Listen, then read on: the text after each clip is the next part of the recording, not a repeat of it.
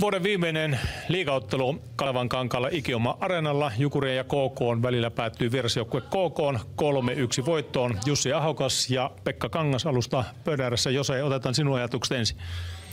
No tietenkin meille tärkeät kolme pistettä, että kyllä nämä vieraspelistä aina, aina että kyllä me täyspäivätyö saatiin tehdä tänään, että jos peliä katsoo ensimmäinen erä meiltä hyvä, sitten Jukurit pelasi kyllä äärettömän hyvän toisen erä. Oli sitkeitä ja vaikka meillä oli muutama paikka, mutta kyllä niillä lukemat olisi voinut olla eri, että mun mielestä Jukurit pelasi erittäin hyvin toisessa erässä ja sitten kolmas erä, tasasta vääntöä, saivat kavennukseen, ja, mutta olin, ky, sitten, olin tyytyväinen siihen, miten joukkue, vaikka yksi, tulivat yhteen yhteen, niin miten joukkue jatko pelaamista ja, ja, ja saatiin se tarvittava 2-1 maali ja sitten kypsästi puolustettiin voittoa, että ei ehkä kauneinta tänään, mutta tota, tehtiin, tehtiin tarvittava ja, ja, ja näitä vieraspisteitä, niin näitä ei ikinä, ikinä saa liikaa. Yksi erikoisuus pelissä, ei erikoistilanteet. No joo, tänään oli vähän molemmin puoli ei vihelletty, ja, mutta tota, ei siinä sen enempää. Parru, yksi kolme taulussa, minkälaiset mietteet tuosta pelistä? Hyvin samankaltaiset, mitä Jose tuossa sanoi, että tuota, KK oli ensimmäisen erän kyllä oli niskan päällä ja osoitti sen, miksi he on, on, on pelannut hyvin.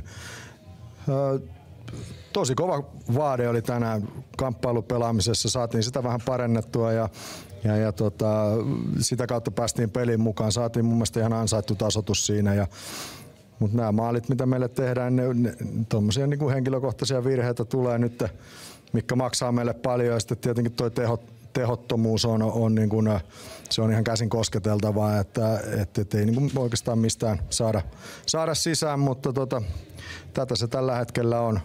on ja tota, tietenkin, tietenkin tänään tiukka peli, niin varmaan olisi ehkä sitten meidän kannalta ollut, ollut hyvä, jos oltaisiin saatu jotain erikoistilanteita siinä, että, että, että kyllä tämä niin kuin, mun mielestä tänään en ole aikaisemmin tuomareita, tuomareista sanonut mitään, mutta kyllä tänään, niin kuin, kyllä tänään meni ohi kaksikolta Pajula Ruuska, että varsinkin toi jäi sapettaan kovasti toi Ponsaksenin poikkari tuon Leskisen päähän, että et, et, eikö toi Bertrandekin vetänyt samalla, sen sai seitsemän peliä, niin, niin, niin tota, ei näin linjassa mene sillä mutta ei me nyt siihen hävitty, että KK pelasi hyvän, hyvän ottelun ja ansaitsi voittonsa.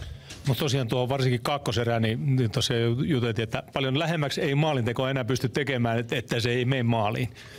No kyllä se kaukana on, että se on, se on, se on, se on se pitää olla siellä sisällä, niin se on sitten sisällä. Että se on ihan sama kuinka läheltä ne menee, että kaukana se on silti. Ja, mutta toi on se, tavallaan se tapa, mikä meidän pitää pystyä tuomaan tuossa nyt jatkossa, että toi sitkeys ja tavallaan, tavallaan tota, luotto siihen, että se, ne rupeaa löytyy sinne tolppien väliin, niin, niin, niin kyllä mä uskon, että se vielä kääntyy. Se vielä kääntyy. Tämä oli tämän vuoden ottelut liikassa. Kiitos tästä illasta. Jatketaan vuoden, ensi vuoden puolella ja hyvää uutta vuotta kaikille.